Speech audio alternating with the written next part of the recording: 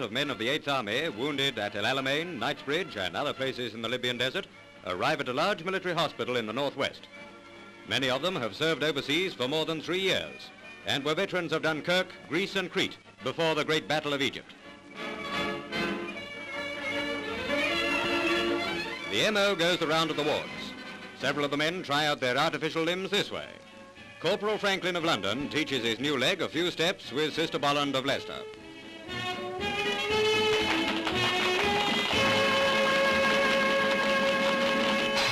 One of our frontline padres, Mr. Macmillan, has a chat with Driver Frampton of London. Two other 8th Army men, Winslet and Ancliffe of Bedfordshire and Sheffield, get on the right and left side of a pretty nurse. Three Scotsmen, McLean, Tricklebank and Quinn. Corporal Raystrick and Sister Brown. He lost a foot and won the DCM.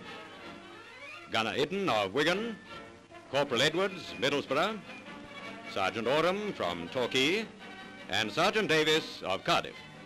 These and nearly 200 others are back in Blighty after sharing in the splendid desert victory of our 8th Army.